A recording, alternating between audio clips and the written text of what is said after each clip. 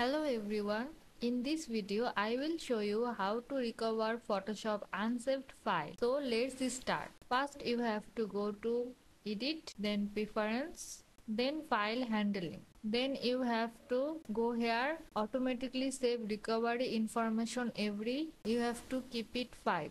Then click OK. Then you have to go to search bar and search Task Manager click here. You have to click Adobe Photoshop 2022 and enter. Then you have to go here and type run run. Then you have to type percent app data percent then click ok.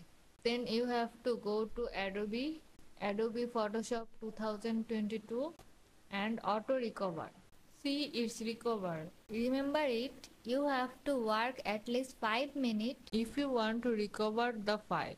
Thank you for watching.